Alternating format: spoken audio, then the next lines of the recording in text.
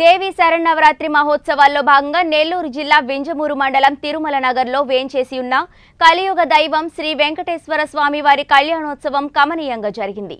శ్రీదేవి భూదేవి సమేత వెంకటేశ్వర స్వామి వారు తన కళ్యాణాన్ని లోక కళ్యాణార్థం ఆలయ అధికారులు ఘనంగా నిర్వహించారు.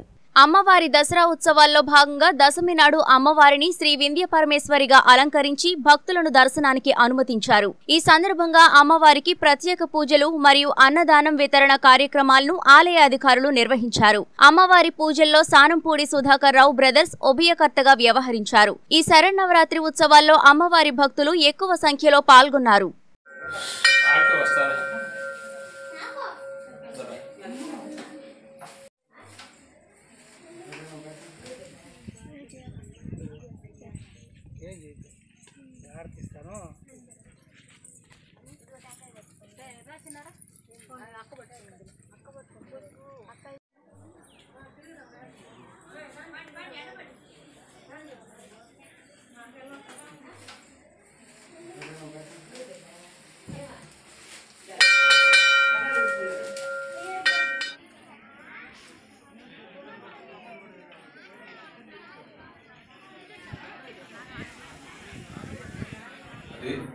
ఆటో పరిపాలన నుంచి శిథిలావస్థలో ఉంది ఒక స్వామీజీ వచ్చి పాతి సంవత్సరాల నుంచి ఇరవై ఐదు సంవత్సరాల నుంచి ఇక్కడ ప్రతిష్ట చేసి అమ్మవారిని గుడి కట్టి నిర్మించి ప్రతి శుక్రవారం అన్నదానము ప్రతి సంవత్సరం కార్తీక మాసంలో కార్తీక మాసంలో వనభోజనాలు ప్రతి మే నెలలో అమ్మవారి గ్రామోత్సవం బ్రహ్మోత్సవం జరుపుతున్నాము.